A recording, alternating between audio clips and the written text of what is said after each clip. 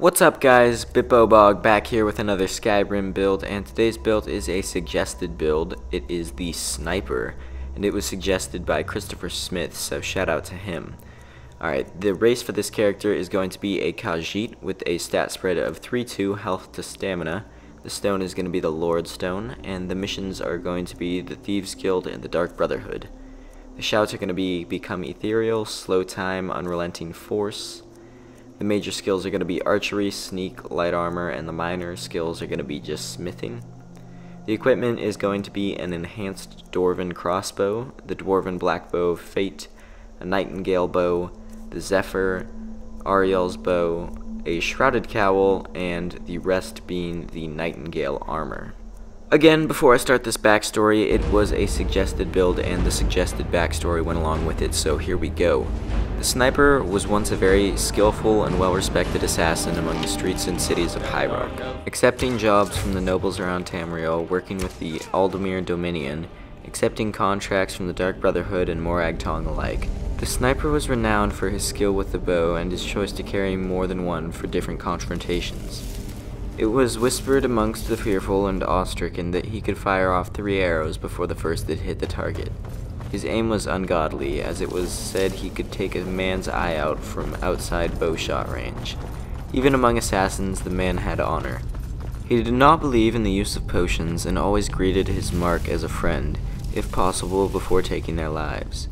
Blades were taboo to him, as was magic, not because he lacked prowess, but because he deemed the use of such tactics dishonorable to those that could not perform the same feats.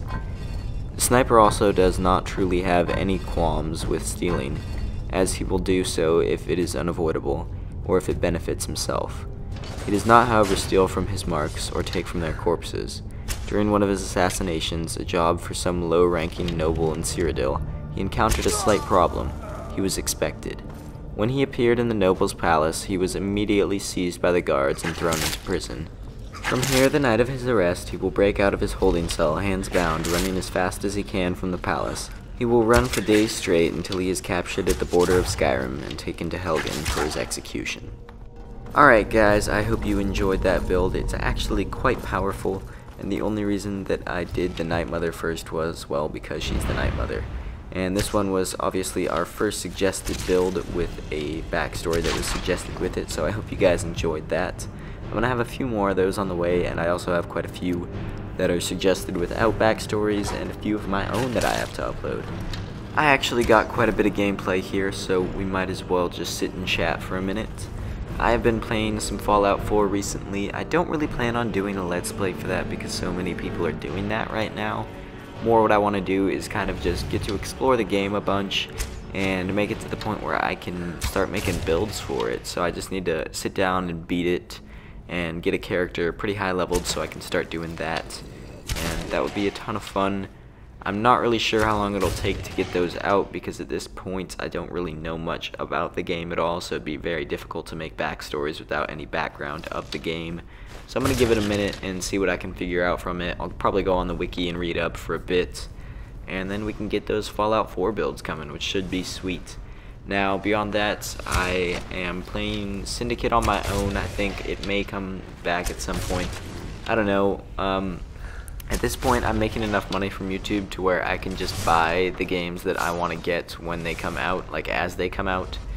Um, because I have like enough to buy a little more than a game every time, uh, every month I get paid on here, so that's pretty convenient, and it actually works out pretty well as the games are coming out right now, so I'll have some more games, I'm not sure what I'm going to be posting, I want your guys' opinion on that, but hopefully in a couple months we'll get some more stuff up on here. And at this point it's really just down to how much my internet can upload because I have 50 gigs a month but we also stream and stuff on it so I don't know. We'll see how much I can do but I would love to do as much as possible to get this channel growing as much as I can beyond that I am playing some zombies just because I love those games they're pretty difficult though uh, for Black Ops 3, so we'll see if we can get anything interesting or worth uploading out of that, but eventually I may upload some of that because I think it'd be quite fun, and I don't know that there's anything else I would be uploading at this point. not for a bit anyway. I got the chance, or, or I will get the chance to play Tomb Raider pretty soon here, the new one on my friend's Xbox One, so that'll be pretty cool. Looking forward to that, and uh, I hope you guys had a good one. I hope you enjoyed the build, and I will see you guys in the next one. Peace. Even among assassins, the man had honor. He did not believe in the use of potions and always greeted his mark as a friend, if possible before taking their lives. Blades were taboo to him, as was magic, not because he lacked prowess, but because he deemed the use of such tactics dishonorable to those that could not perform the same feats. Sniper also does not truly have any qualms with stealing, as he will do so if it is unavoidable, or if it benefits himself. He does not, however, steal from his marks or take from their corpses. During one of his assassinations, a job for some low-ranking noble in Cyrodiil, he encountered a slight problem he was expected. When he appeared in the noble's palace, he was immediately seized by the guards and thrown into prison.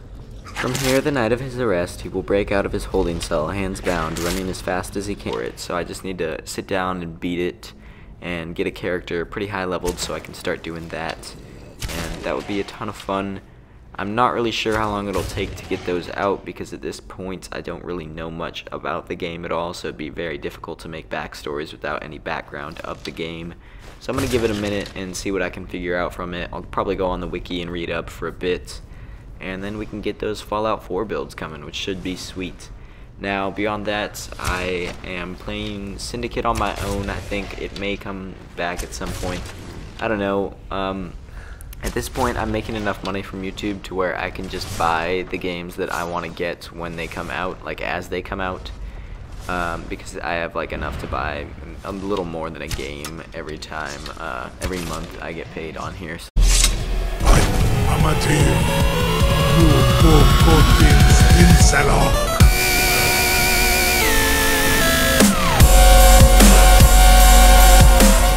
What's up guys, BitboBog back here with another Skyrim build, and today's build is a suggested build. It is the Sniper, and it was suggested by Christopher Smith, so shout out to him.